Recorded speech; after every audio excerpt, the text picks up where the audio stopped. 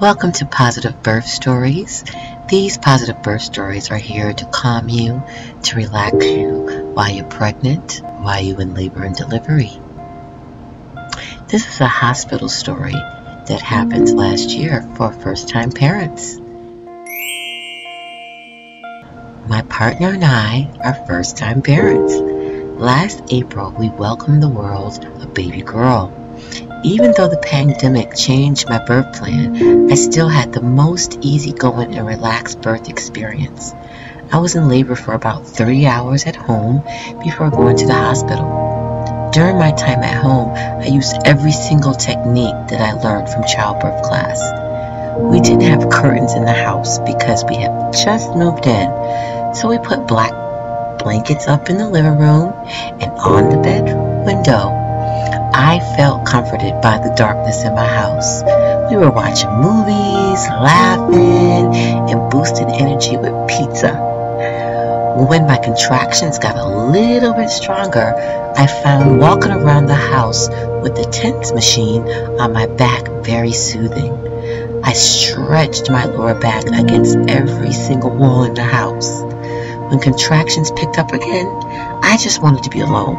I sent my partner to the guest best best bedroom so I could have my own dark, warm space to focus on my breathing and meditation. I felt totally in control, and even though I am a first-time mom, I really felt in control. I knew exactly what to do and when to call the hospital, just like my childbirth educator said. Birth like an animal and breathe. That's all you need to do. We arrived at the hospital at 6 a.m. and my baby girl was born at 1 p.m. Our midwife was amazing. We clicked instantly. The whole time, my only pain relief was the TENS machine and gas and air, which put me in a really good mood. I will never forget listening to my favorite Peter Gabriel song, joking around and eating biscuits. When the time finally came, I found my primal scream. Oh wow, the squeal was something else.